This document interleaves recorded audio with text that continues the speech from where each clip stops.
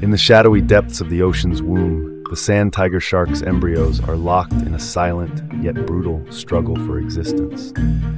It's a world where the faint heartbeat of one signals the end for another, a place where the embryonic journey is fraught with peril from the very beginning. This savage ritual, known as adelphophagy or oophagy, is nature's harsh way of ensuring that only the fittest survive to breach the ocean's surface. The largest embryo, armed with embryonic teeth, turns predator, targeting its siblings in a grim display of survival of the fittest. It devours them, one by one, absorbing their nutrients and growing stronger with each act of cannibalism.